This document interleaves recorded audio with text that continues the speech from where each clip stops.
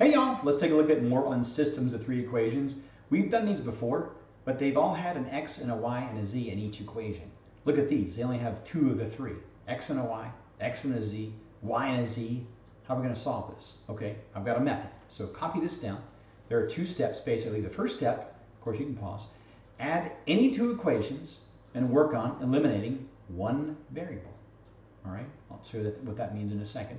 The second step is pair your new equation, which will have two variables, x and a y, or x and a z, or y and a z, with the other equation that has the same variables. You can solve two equations with two variables. That's the big deal, right? Eliminate or substitute or whatever.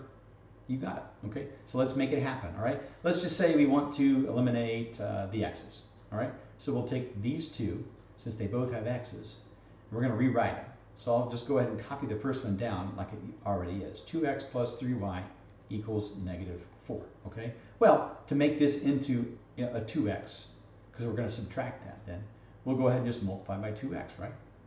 It's a 2x, okay? And then 2 uh, times negative 2z is negative 4z, right? And then 2 times negative 3 is negative 6, okay?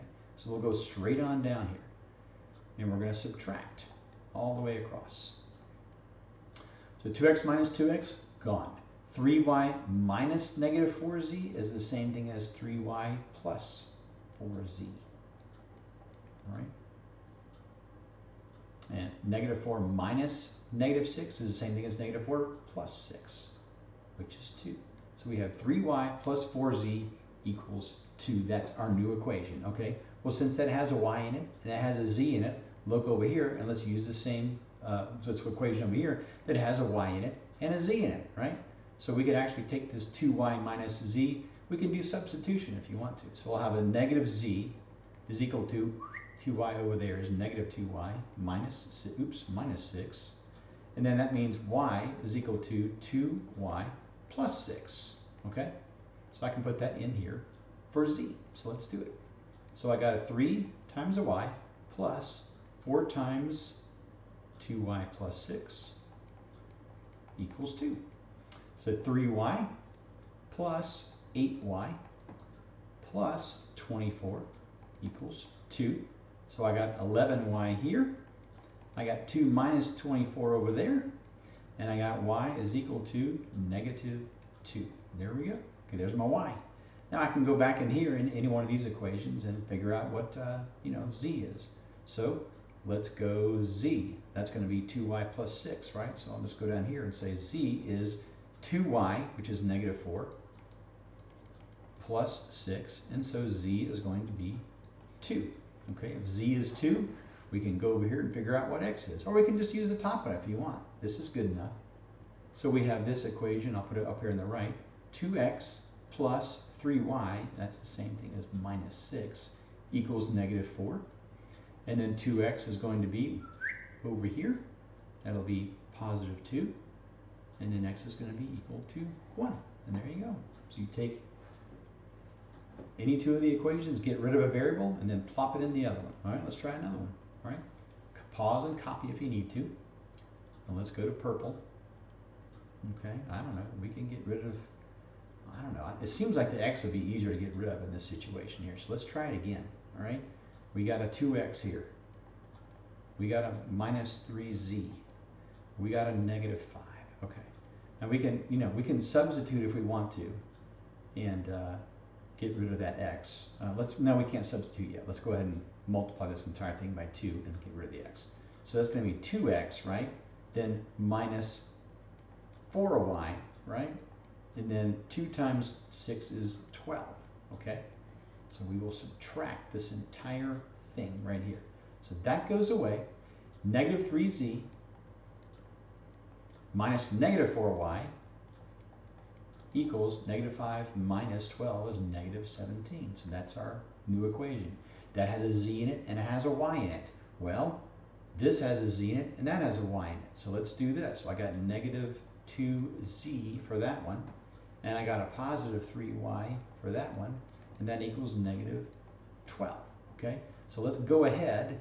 We're going to we're to do the old multiplication trick here and eliminate here. So I got what? 3 times this part and then we'll do 4 times this part, since that'll get rid of the y's for us. We could have also done 3 and 2 for the z's, or whatever you want. It doesn't matter. Okay, well, I got 3 times negative 3z is negative 9z, and that'll be 12y, and then 3 times negative 17 is negative 51. 4 times negative 2z is negative 8z. Uh, 4 times 3 would be 12y again, and 4 times negative 12 is negative 48. Okay, so now we can go ahead and subtract right here. So we will subtract. Okay, negative 9 minus negative 8 is the same thing as negative 9 plus 8, which gives us negative z.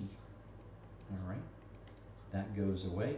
Negative 51 minus and negative 48 is the same thing as negative 1 plus 48, which is minus 3, which means that z is equal to 3. If z is equal to 3, we can take either one of these equations with a z in it and figure out what y is. So let's do this through the top one here. I got 3y minus 2 times 3 equals negative 12. So 3y is equal to negative 12 plus 6, which is negative 6. So y is equal to negative 2. All right, and we can go up here and say x minus 2 times y, in other words, x plus 4 is equal to 6, which means x is also equal to 2. And there we go. Okay. All right, let's try the practice problem and uh, pause it and we'll come back back. All right, I'm assuming you paused it. Let's take a look at this. You can get rid of any uh, variables you want to. Uh, we could just say, why don't we just try to get rid of the, uh, I don't know, let's get rid of the, z's since they're just sitting there like that. Uh, we can actually just run these up right against each other right here. And let's just do these two first to get rid of the z's. If we do that, we're going to have to subtract, right? So we have 2x minus 3y and negative z minus negative z is nothing. So 9 minus 10 is negative 1. Okay, so that's our equation we're going to piddle with first. So 2x minus 3y equals negative 1. So here we go. 2x minus 3y equals negative 1. All right, uh, let's look at another equation that has an x and a y, and there it is. We have a 3x plus a 2y equals 6. Okay, well, let's get rid, we can, you know, either subtract, get rid of the x's or the y's, whatever. Let's just go ahead and do, um, I'll just multiply this by 3 and uh, multiply this by 2. And we'll get rid of both very quickly. All right, so we have 6x minus 9y equals negative 3. And we have 6x here uh, plus 2y equals, that's going to be 12. Okay, we'll subtract to get rid of the x's. And that goes away. Negative 9 minus neg uh, 4 is going to be negative 13y. Negative 3 minus 12 will be negative 15. And we'll have y is equal to 15 over 13. All right, good so far? Okay, all right, let's see what we do next.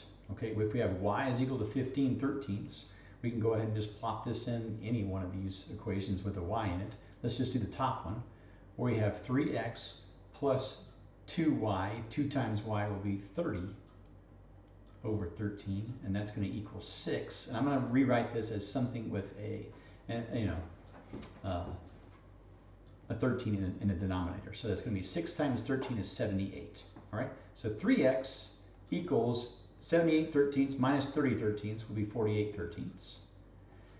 And if we divide by 3, that means the same thing as multiplying by 1 over 3, and 48 divided by 3 is 16, so x is going to be 16 over 13. Okay, now we can use e either one of these, y or the x, to figure out what z is, okay? So let's take, I don't know, 2x minus z equals 9. I'm going to write this in a different color so you can see it a little bit better here. So 2x, that means 2 times x, or 32 over 13, minus z. So 32 over 13, right, 2 times x, minus z is equal to 9, okay? 9 with a 13 in the denominator, 13 times 9, 12 times 9 is 108. Another 9 will be 117. Okay, so we have a negative z is going to equal 85 over 13. So that means a positive z is going to be negative 85 over 13. Ah, what horrible numbers. Man, I hope they don't do this to you every time. They shouldn't. Anyway, if you can get that one right, then you can get anything, any of those right. So anyway, all right. Have a good day. Hope you enjoyed that, and we'll see you next time.